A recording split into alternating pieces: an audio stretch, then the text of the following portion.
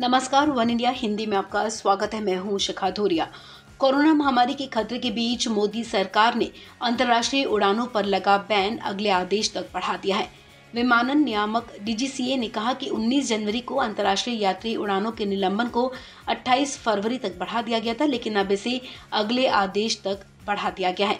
गौरतलब है कि कोरोना वायरस महामारी के प्रकोप के बाद से 23 मार्च 2020 से भारत में अनुसूचित अंतर्राष्ट्रीय यात्री उड़ानें निलंबित हैं। हालाँकि इसके बाद गठित एयर बबल व्यवस्था के तहत जुलाई 2020 से भारत और लगभग 45 देशों के बीच विशेष यात्री उड़ानें संचालित हो रही हैं।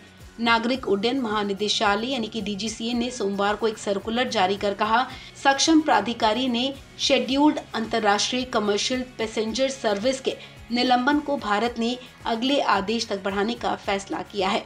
ये प्रतिबंध अंतर्राष्ट्रीय ऑल कार्गो संचालन और डीजीसीए द्वारा विशेष रूप से चलाई जाने वाली उड़ानों पर लागू नहीं होगा। हालाँकि इससे पहले सरकारी सूत्रों से खबर आई थी कि नियमित अंतर्राष्ट्रीय उड़ानें 15 मार्च से फिर से शुरू हो सकती हैं। इसके लिए भारतीय हवाई अड्डों पर प्रभावी मानक संचालन प्रक्रियाओं का पालन किया जाएगा। हालाँकि नागरिक उड्डयन महानिदेशालय की तरफ़ से अभी तक कोई आधिकारिक घोषणा नहीं की गई थी। इस खबर में फ़िलहाल इतना ही। तमाम अपडेट्स के लिए आप बने रहें वन इंडिया हिंदी के साथ।